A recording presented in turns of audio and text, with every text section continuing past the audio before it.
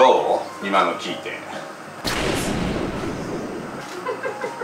ああよかった今ケツ取れるか思った。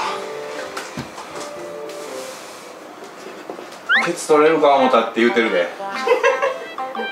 取れはしないだろうなと思ったから無視して。太もも破裂してケツなくなるか思ったで。太もも破裂してケツなくなるか思ったでって言うたで。なくなりはしないだろうなと思って無視してみた。よでも太もも破裂するかもなとは思ったやろ太もも破裂するかもなとは思ったやろって言うてるで。そうだね。あかん。強烈な眠気きた。